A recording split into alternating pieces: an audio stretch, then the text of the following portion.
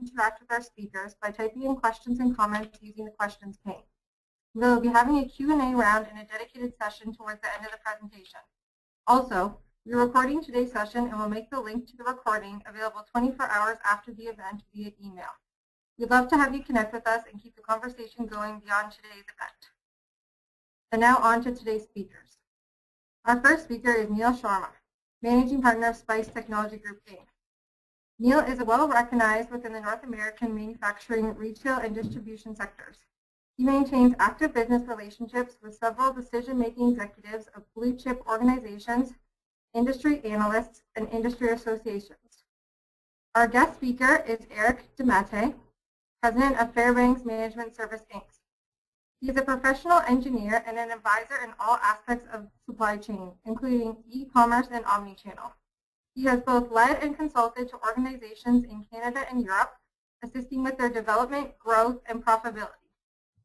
I'm now going to hand it off to Neil. But before we do that, we are going to put a quick poll on the screen.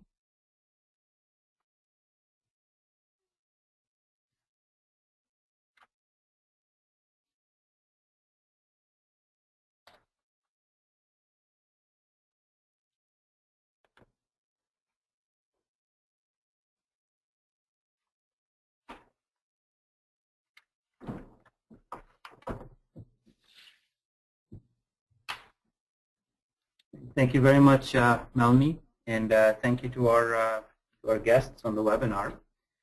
So um, we're going to chat about this uh, concept called omni-channel, and uh, with myself and uh, Eric here with me. Hi, everyone. So um, before we get before we get into the sort of the nuts and bolts of the presentation, I thought um, what we might do is spend a little bit of time kind of understanding you know what the various aspects of omni-channel are and uh, I think suffice it to say that it is a fairly complex discussion and it can be easily broken up into sort of several major chunks that we look at uh, both from a retail as well as from manufacturing and then potentially from a distribution perspective as well for those industries. Yeah, this uh, graph in front of you or this slide is showing that um, really if you look at retailers for example um, you know, they look at their world in these major, six major uh, chunks. You know, they plan, they buy, they make, they move, they sell, they service the products, and then they are prepared to take returns back from their consumers. And all of these really affect omni-channel. And I think you know this will we will start to build upon this through the rest of the uh, presentation today. But today we will focus on this aspect of move, which is logistics and supply chain and how that affects omni-channel. And hence the title is Fulfillment Strategies for Omni-channel. In future webcasts, we'll be talking about some of the other components such as how do you do planning and forecasting that affects omni-channel or what are the procurement activities associated with omni-channel.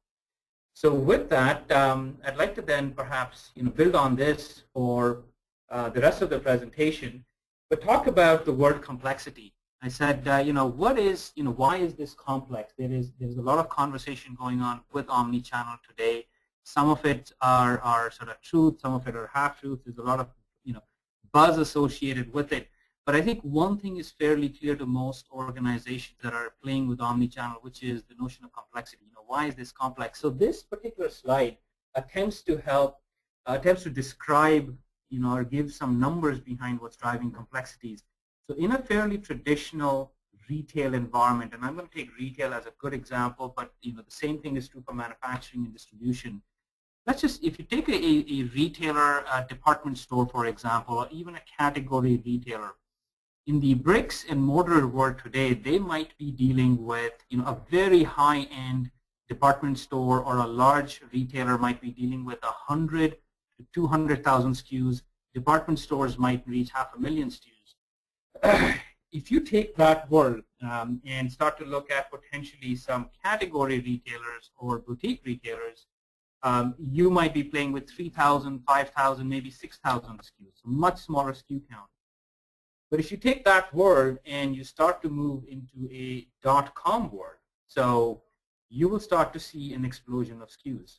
And uh, you know, a, a well-known sort of, you know, well-talked about example is that of Walmart. They carry at a store 150,000, 200 uh, SKUs, but Walmart.com will carry over a million SKUs.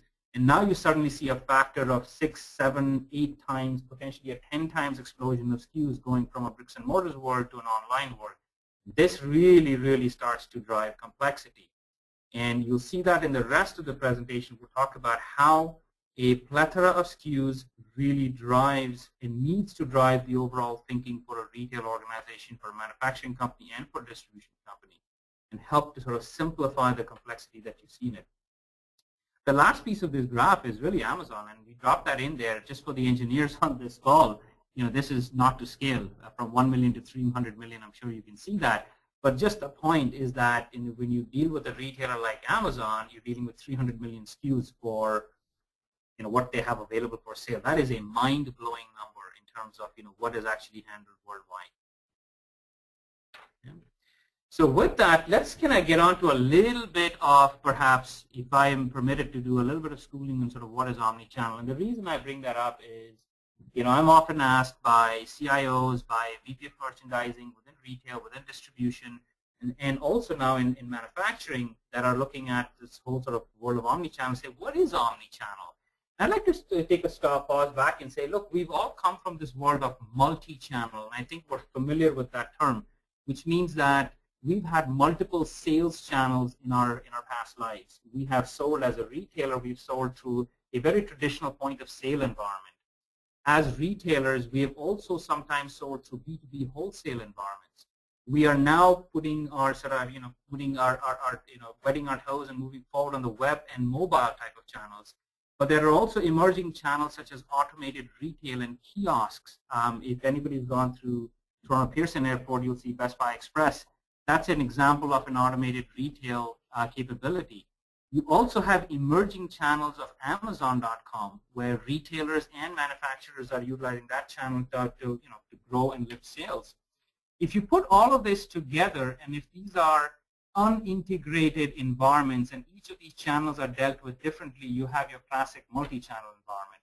Omni-channel is the ability to in fact tie all of these channels together and give the customer a single view into your organization and really give them these six you know, fundamental capabilities for executing.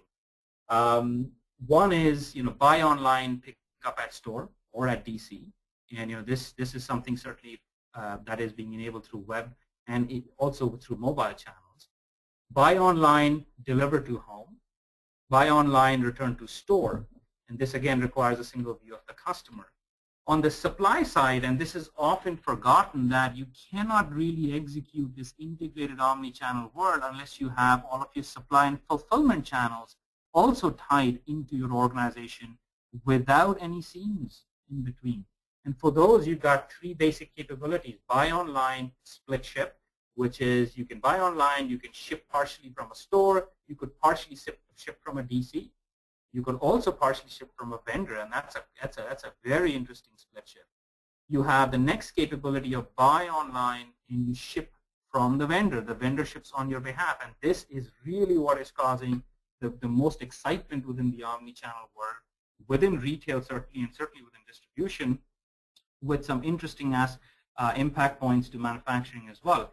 And then you have this, you know, you know tied with the uh, buy online vendor ship, you have the endless aisle concept, which is, if you relate back to the earlier SKU slide that I talked about, you go from 100,000 SKUs to a million SKUs, that's your endless aisle program. The ability for you to aggregate the catalogs of all of your vendor manufacturers and make many more products available to them than what is physically possible in your in your bricks and mortar world today.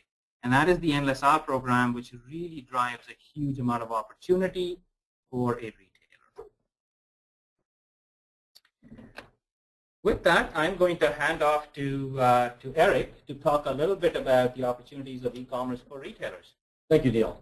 Uh, as Neil mentioned, this, this massive growth in the number of products available to consumers via e-commerce also provides uh, retailers with an opportunity to steer or lead customers to more expensive items online that offer them a higher gross margin. This whole concept of endless aisle. For example, a more expensive patio furniture set than the one they might see in the bricks and mortar store is available online, one with more pieces, more end tables, recliners, and the like.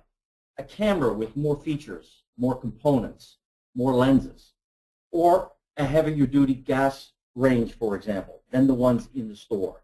This endless aisle provides customers with greater opportunity, but it also provides the retailers with an opportunity to upsell.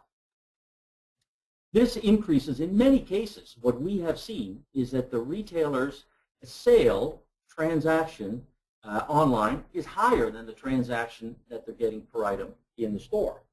And also that uh, a customer online having a good experience, enjoying the website, is making multiple purchases per transaction. Done right, a great online experience from start to finish creates a wonderful customer experience, reinforces the retail brand, and is every bit as comparable to their in-store in experience, and in some cases, even better than. Overall, this will lead to higher gross margins, but only if we carefully manage the end-to-end -end supply chain costs and we try to optimize that supply chain from manufacturer right through to the end consumer. This includes where we position each, each SKU, each product in the supply chain, and how they are transported from manufacturer or importer or distributor through the supply chain right through to the end consumer We'll talk more about this shortly. That's from a retailer's perspective. From a manufacturer's and a distributor's perspective, there's also some tremendous benefits coming from e-commerce. Our sense, however, is that manufacturers and distributors and carriers have a big opportunity that maybe not all of them are currently taking advantage of. They have an opportunity to further integrate themselves uh, and strengthen that relationship that they have with retailers and potentially create new channels direct to end consumers that create new revenue opportunities for themselves that they're not getting today. We all know uh, that the e-commerce market is growing rapidly uh, and uh, therefore they have an opportunity, manufacturers and distributors, to capture some of that volume that they're not getting today with sales in bricks and mortar stores not growing as rapidly as in the past. A, a, a recent internet retailer, massive uh, internet retailer conference in Chicago earlier this month attracted thousands of attendees from more than 600 companies in the e-commerce space. This is indeed a rapidly growing market.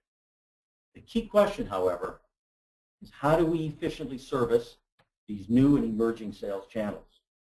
And how can I, as a distributor and carrier, take advantage of the opportunity to increase my revenue from e-commerce by providing my retail customers with additional services, such as kitting, uh, new types of labeling, uh, uh, uh, uh multi-point scanning, automated appointment management, and even payment coordination. There's some golden opportunities here. But the conclusion is that while e-commerce provides a multitude of, opportunities, these opportunities are different for retailers, manufacturers, and distributor carriers. So thanks, um, Eric. I think you know an interesting sort of takeaway from this is really you know this is a, a an opportunity for anybody in this complex merchandise supply chain world, from retailers, manufacturers to the distributors, and everybody wins. I think that's that's an important uh, sort of takeaway here. So continuing on with that, I, I'd sort of you know talk a little bit more now about you know what is you know how do we try to understand this complexity? We've talked about SKU explosion. We've talked about you know that driving complexity. We've talked about the opportunities for retailers, manufacturers, and distributors, but we haven't quite understood sort of what is it that you know how do we start to harness the opportunity in here. For for that, we need to first understand you know and start to peel the layers of the onion. So as all the work that, that we do uh, with our uh, you know, customers, we look at our world in, you know, in, in this classic three-point approach, which is people, process, and technology. And so again, if we take retail as an example, um, and again, no, not much different from manufacturing distribution for, for what we want to talk about here, but there's really, you know, from an organization perspective, there's four major departments that come into play uh, when you look at omnichannel. And you know, in the retail world, that's merchandising. In the manufacturing distribution world, that's the sales organization. Both manufacturing and retailers have a supply chain organization that is heavily impacted by omni-channel, this move towards omni-channel. They really need to kind of rethink how supply chain will work. And uh, you also have an operations department. In the retail world, this is the retail operations, how stores are managed, because stores are going to be impacted in the omni-channel world quite heavily. In the manufacturing world, this is the uh, the supply and demand operations coming together and managing that entire world for how omni-channel will work. And this is a fairly important area because one component is incentives management within departments. You know, in the traditional world, in incentives within departments for sales are managed very traditionally in the omni-channel world, it becomes a very difficult environment to say who gets the recognition for an online sale that takes place. And I think many organizations today, from a people perspective, are, are, are giving, you know, are, are taking a, a time to really understand how incentives will be managed so that the customer doesn't know the difference.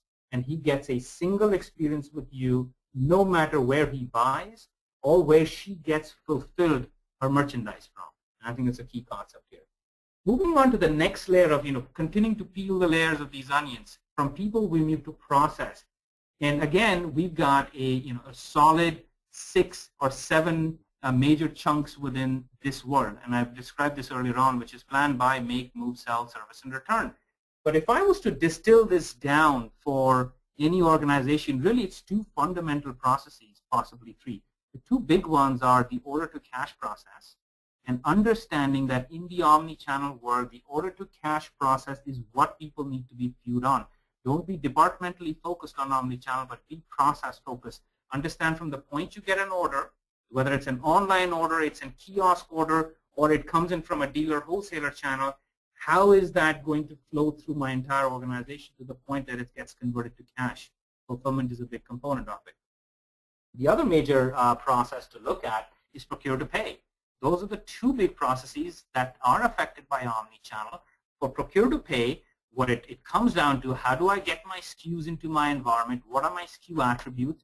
Remember we talked about in SKU complexity uh, or SKU, a plethora of SKU driving complexity in the business. So managing SKUs and their attributes becomes a very big challenge in the omni-channel world knowing, and we will talk a little bit more, and Eric will describe how SKU attributes determine positioning of stock within the supply chain, for example. So really that is a fundamental part of the purchase to pay process and getting SKU set up correctly by a vendor in your, in, in your multiple systems will start to matter, which then gives me a segue for the third major layer, which is systems. And, uh, you know, again, trying to describe the complexity of an omni-channel world every retailer, every manufacturer, distribution organization has multiple applications that are running through their distributed corporate environment.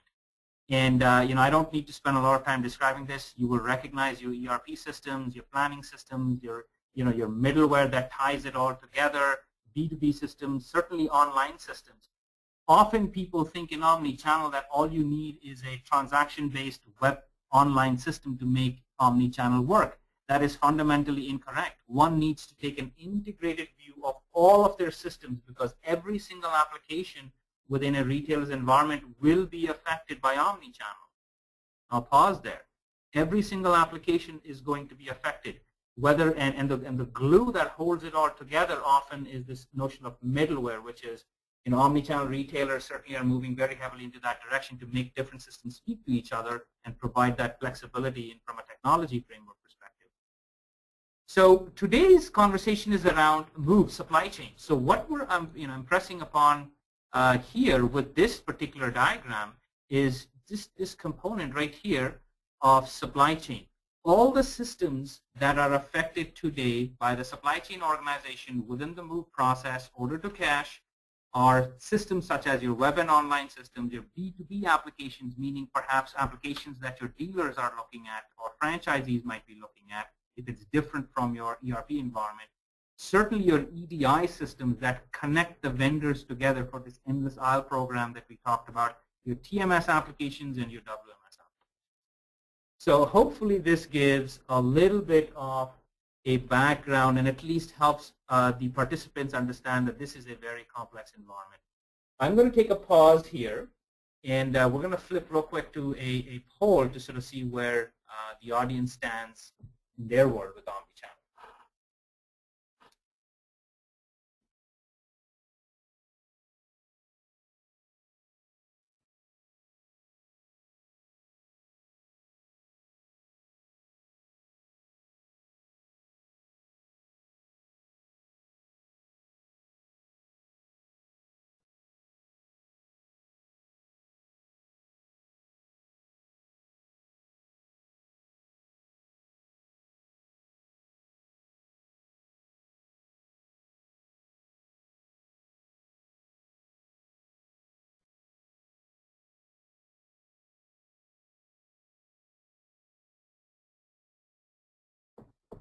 So we will, uh, we thank you for taking that poll. We'll share the results of that poll towards the end of this uh, webinar as well, and that'd be a great discussion point for our FAQ.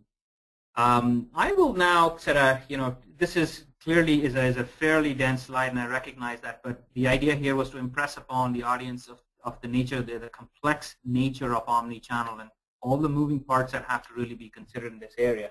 So let's now flip on, if we, if we can, move on to some real-time data that you know that has been collected by by research.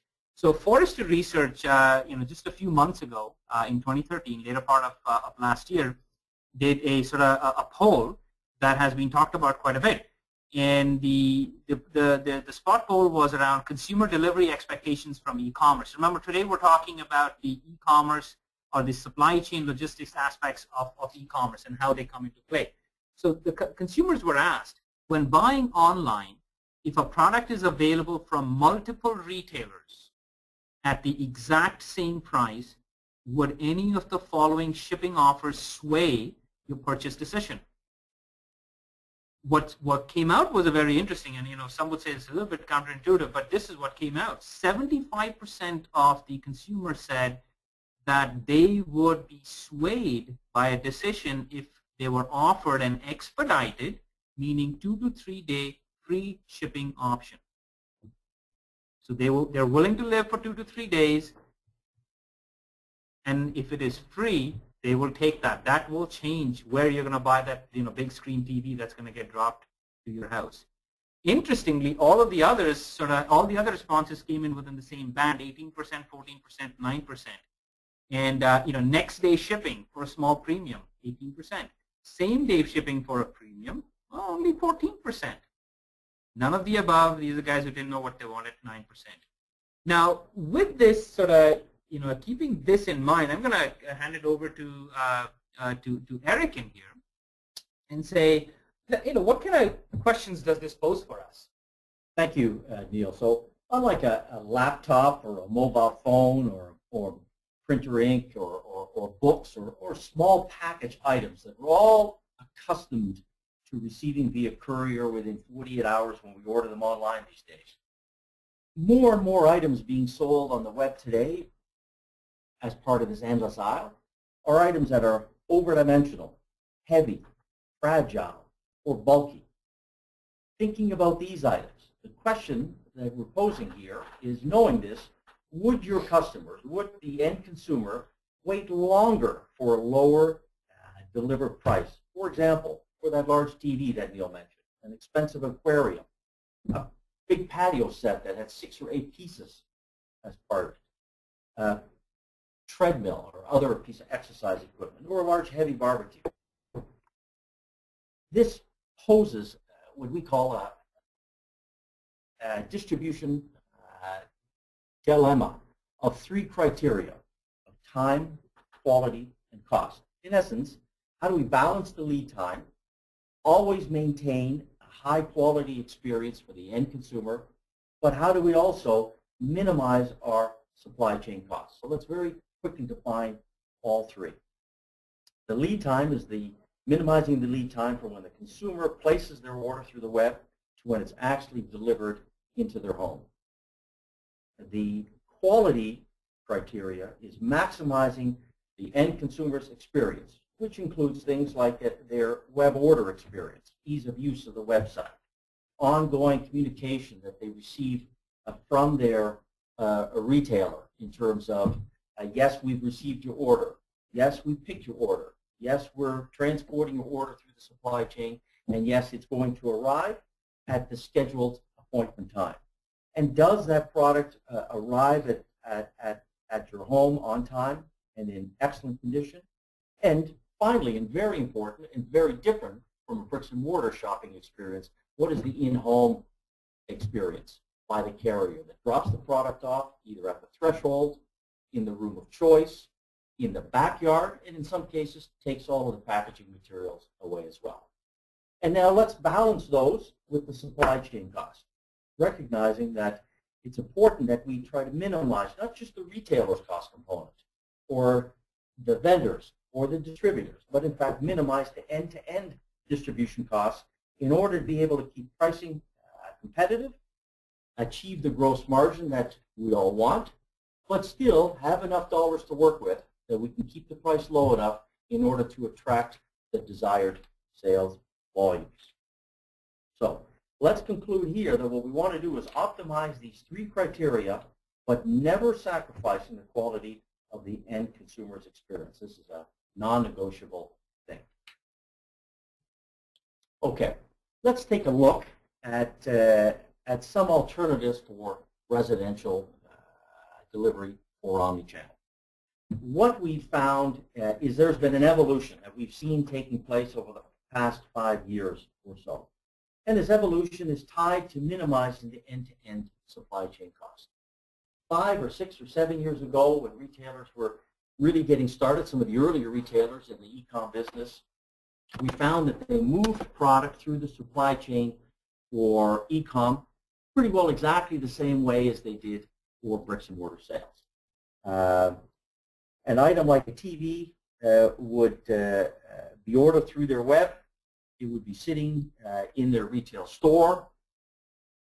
Uh, but this TV would have worked its way from the vendor, been shipped from the vendor to the retailer's central DC, and in some cases their regional DC, put away into that central DC, inventoried, picked from that DC, shipped maybe to a regional DC, uh, received, put away, picked, shipped to the retailer store, received at store level, accounted for, put onto the shelf or in the back room, and then the store, upon receiving the order from the end, end consumer uh, via e-com, would, uh, would then arrange that shipment, have to label that shipment with the, with the consumer's final address, the number of pieces, the weight, the cube, all those things, and then they go out and they'd either use their own uh, fleet or they'd hire a fleet in order to get the item uh, delivered uh, to the store. A few years back, uh, some of these retailers recognized, hey, hang on a second. Uh, e-com, the only thing that e-com has done over the in-store shopping experience, it's added one more cost component, and that's uh, having to make, having to pay, having the retailer have to pay for the home delivery uh, component, which they never had to do prior. So the retailer said, we can't afford that anymore. What we're going to do is we're going to leave a significant number of items, not every item, but a significant number of SKUs back in our central DC or in our regional DC. We'll wait for that order to come through our website, and then we're going to hand this off to one of a number of different carriers that we have at our disposal. We're going to allow our carriers um, in order to utilize available capacity that they have. We're going to allow our carriers to consolidate freight across all of their customers, not just us as a single customer. And we're going to recognize that then we, we can avoid this whole store component of cost structure.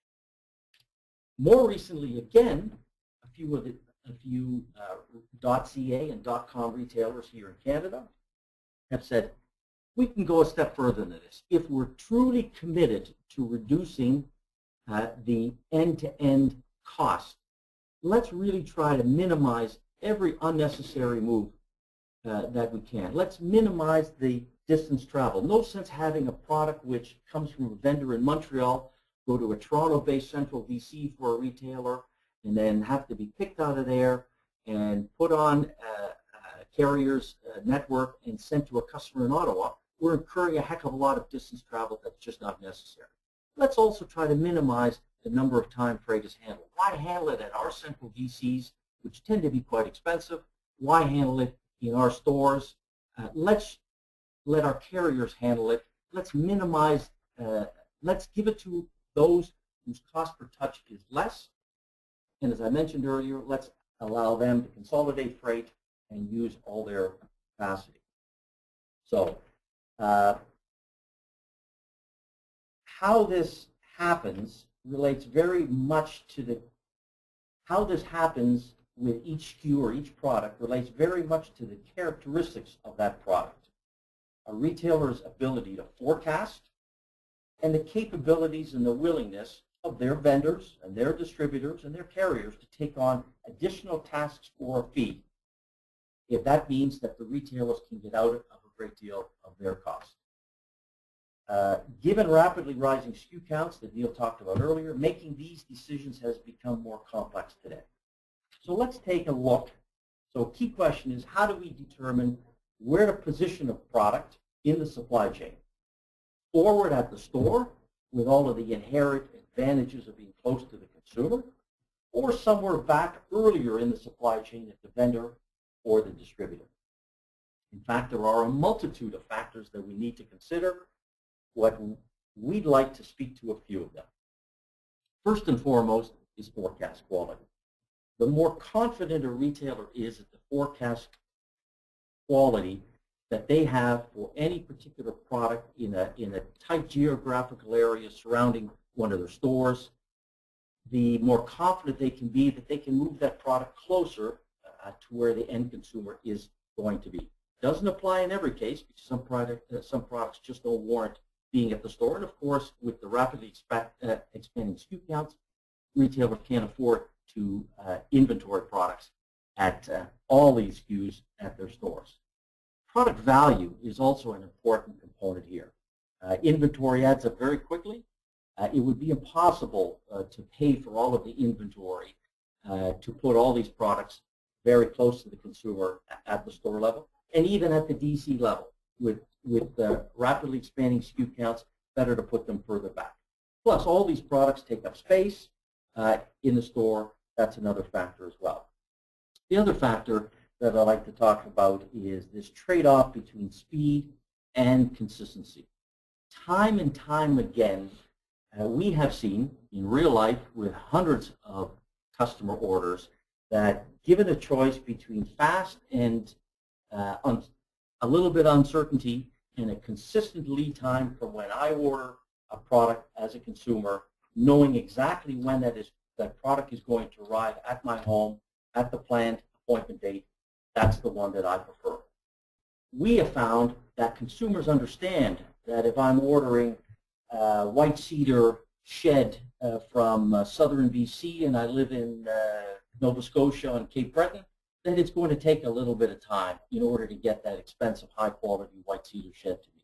And if I make an agreement with that customer that they'll have it in five or six days, and they're, they're going to be home in order to receive that item, the number one thing that I have to get right is I've got to meet that promise and I have to be there at the agreed upon time.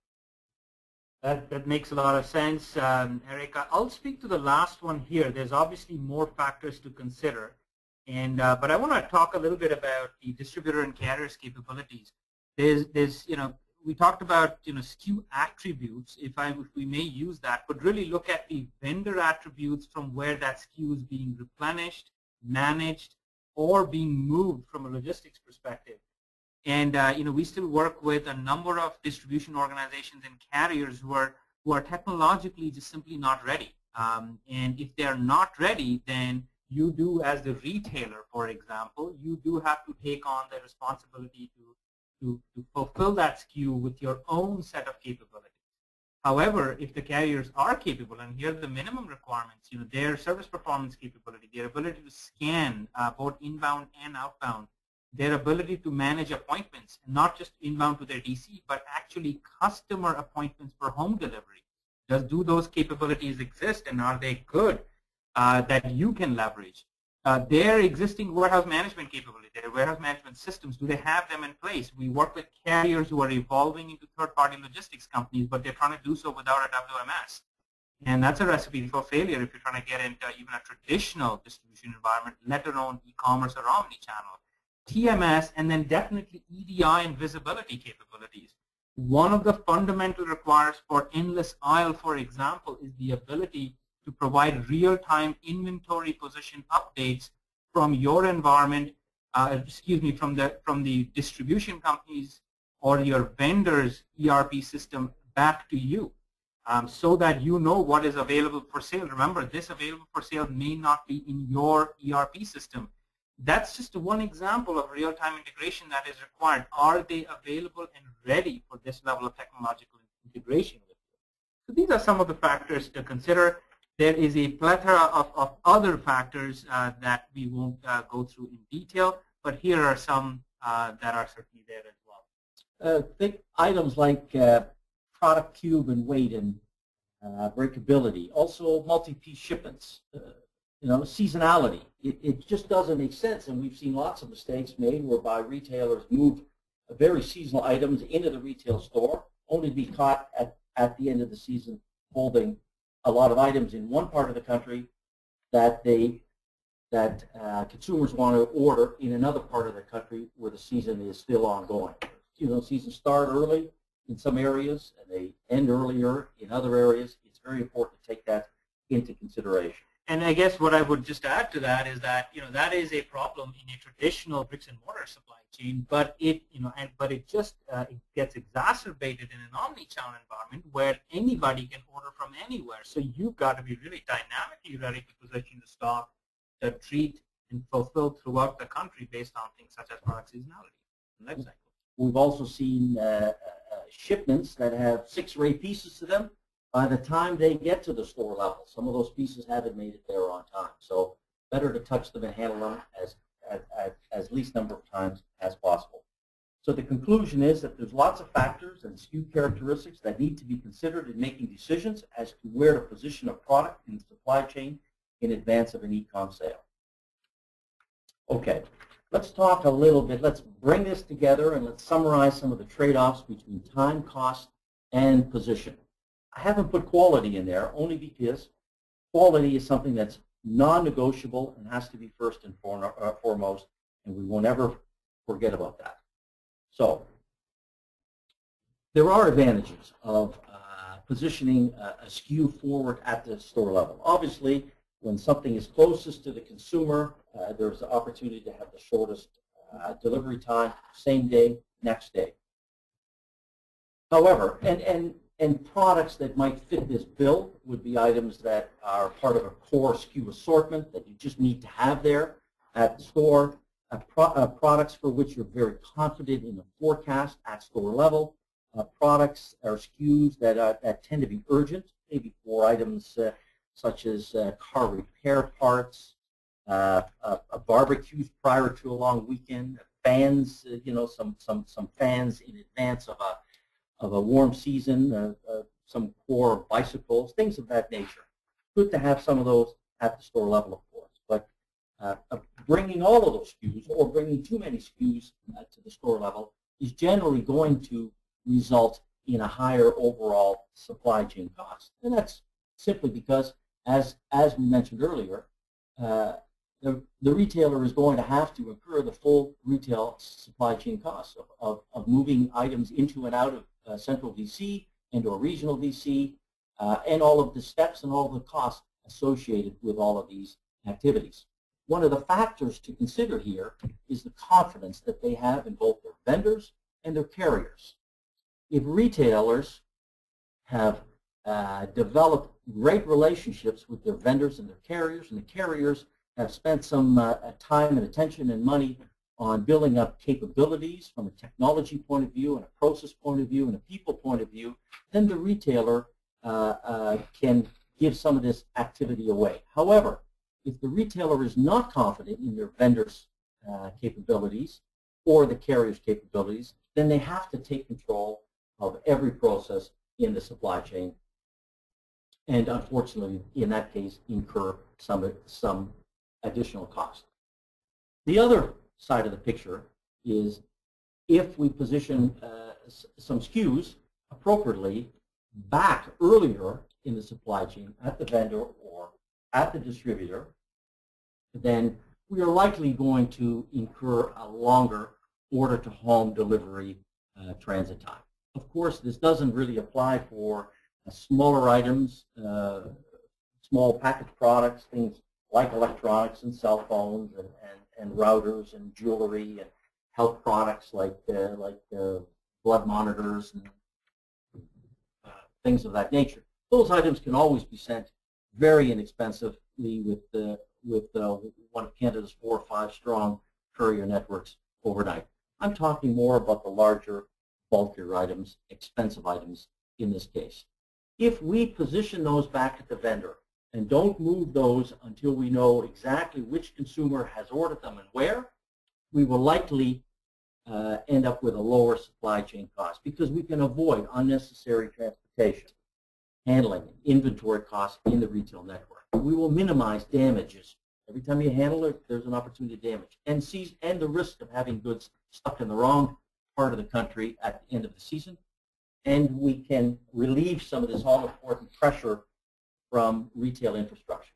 Retailers are finding their infrastructures are filling up, and, and it's a great opportunity here for retailers not to have to constantly construct larger DCs by freeing up throughput capacity. In essence, they can sell products through their through the web.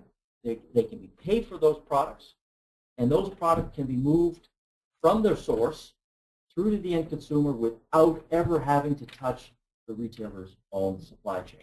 And that can allow their carriers and their distributors uh, to do more work and make more money and overall a lower supply chain cost. So thanks, Eric. I think with that, um, we will uh, get towards uh, some sort of conclusions and sort of next steps here, and we'll open up for QA. I guess uh, we want to make sure we respect people's time. We've got some great questions that are coming in. Um, so quick conclusion is a connected supply chain really matters in omni-channel. In omni-channel, and integration is really the key process integration, people integration, and absolutely technology integration. This is not a game that can, can be played without integrated technology, with real-time integration back to vendor communities to help you fulfill the products up to the customer's expectation and give them a single view of, the, of, of your organization.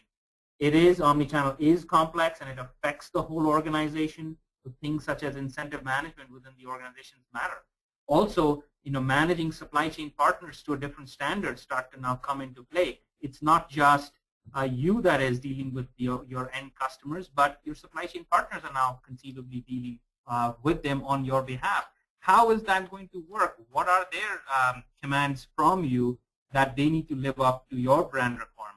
And then finally, sort of, you know, one one size does not fit all. I think that's probably the most important takeaway.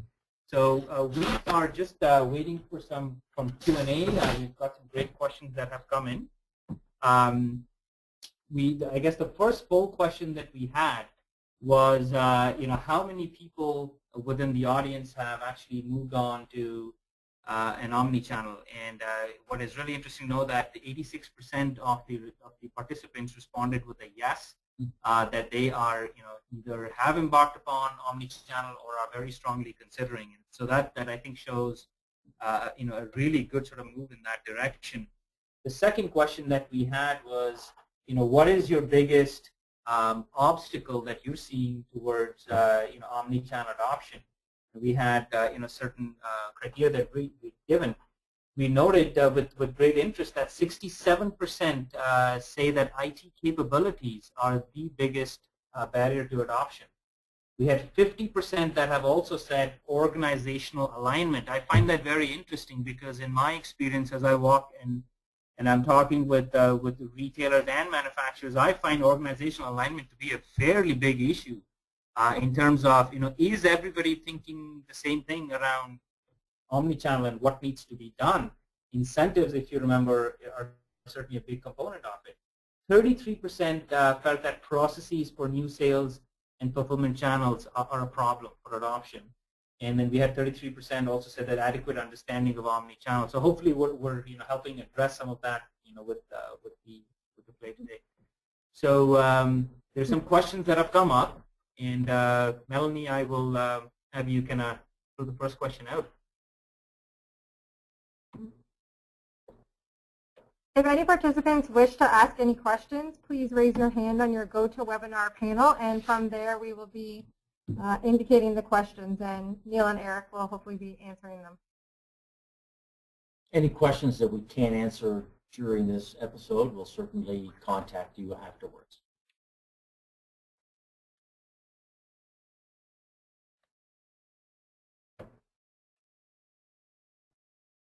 Just waiting.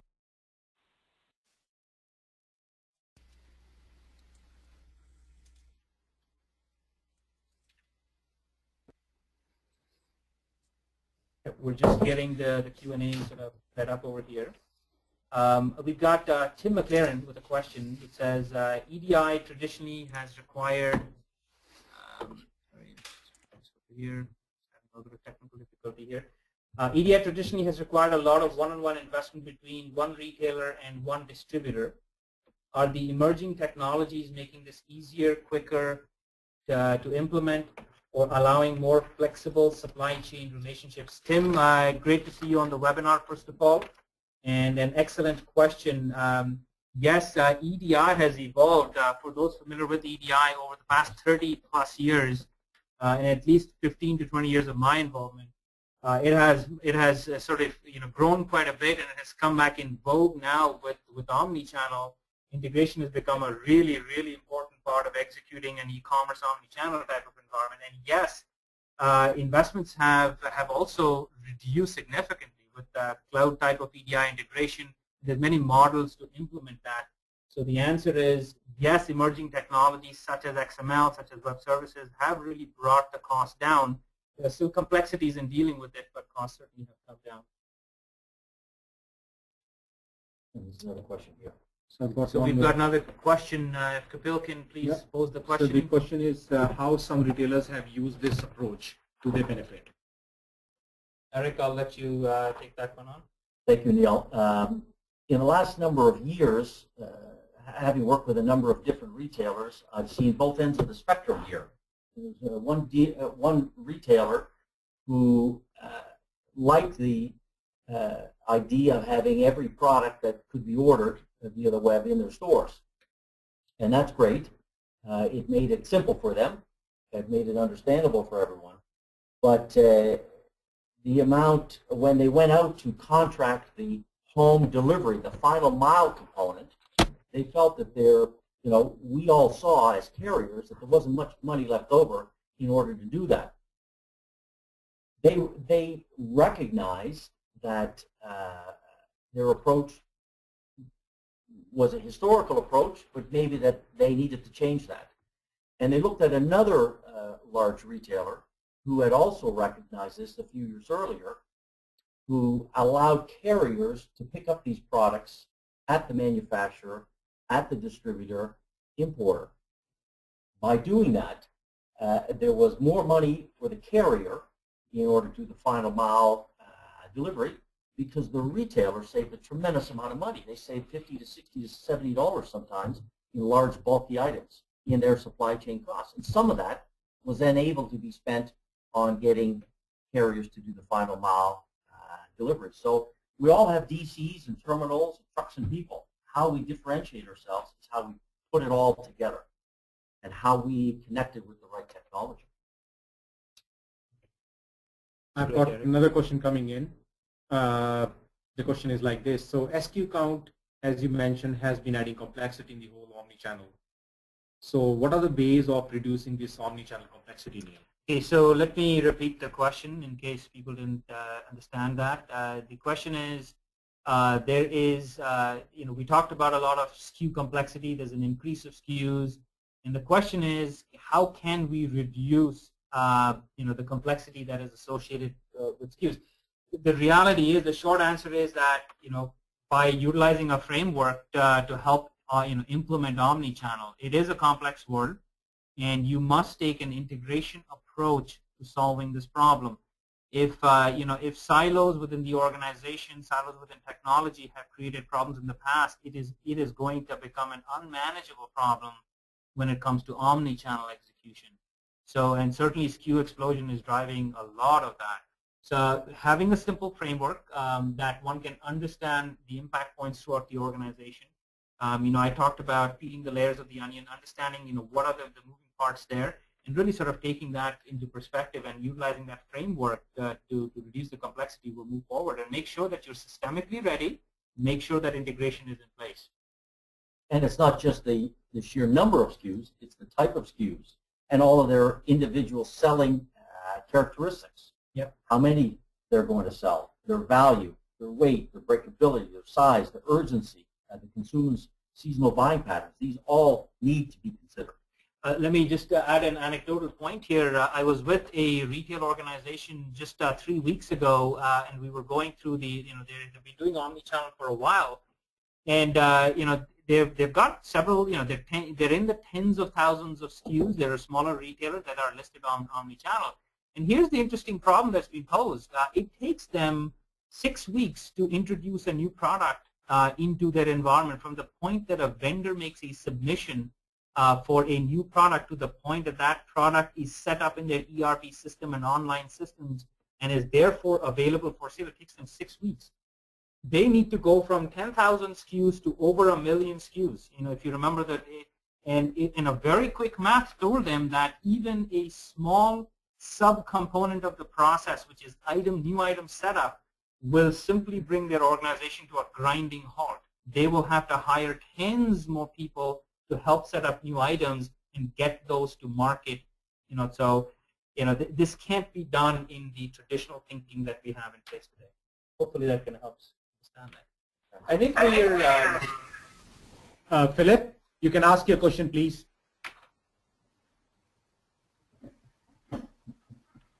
Uh, there's a question from Philip. Yeah. Uh, so Philip has a question. I'll just read it out. Uh, do you agree that most of the vendors would be the laggard in ramping up their IT capabilities to work with both retailers and carriers, 3PLs? Um, Philip, I, I will. I'll have to say that I hate to agree with you, but the fact of the matter is, I will agree with you that vendors are slower at this point to adopting IT and capabilities. In fact, uh, you know, retailers are the ones who are forced to move forward. Omnichannel has come in retail first. That's where the consumer is going. So retailers are putting a lot of investments and they're getting ready for omnichannel in a big way. The uh, you know the the slowness in this entire sort of um, uh, the bottleneck has been the vendor community, and uh, you know their ability to quickly react and integrate to retailers is still a big problem.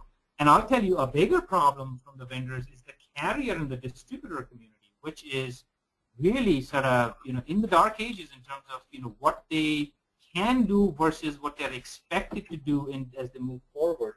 And we're hopeful that the, you know, that service provider community will really kind of get up to speed with it. Retailers are spending a tremendous amount of money, uh, making big investments in people and technology in order to get into this game. But in some cases, carriers are lagging behind as well from a technology point of view. Things like payment and commerce technology, uh, being able to do automated appointment management through a carrier website or a retail website uh, connected to a carrier website, uh, warehouse management uh, technology upgrades, transportation management, things like dynamic routing for uh, incoming orders on the fly, end-to-end -end scanning, not just scanning when a carrier receives a product and uh, uh, POD scanning at the end when they when they deliver it to the end consumer, but a scan every time a carrier moves a product from one facility to the next. Uh, capacity planning and finally management reporting and EDI are all technologies that retailers are expecting carriers to upgrade in. Are there any other questions uh, coming in, Kapil? I think yeah. we're coming up to our time, and I think uh, we should. Uh, if there are more questions, I think we should please feel free to email it. Our, you know, Eric's uh, email ID is there at the bottom of the screen, and so is uh, so is mine. And perhaps, uh, Melanie, we can move towards wrapping it up. Yep, so you'll be receiving an email with a link to the recording of the webinar. And I'd just like to thank our speakers, Eric and Neil, for speaking today regarding this topic. And on behalf of Spice Technology, we'd just like to thank everyone for participating and have a great day. Thank you very much. Thank you, everyone.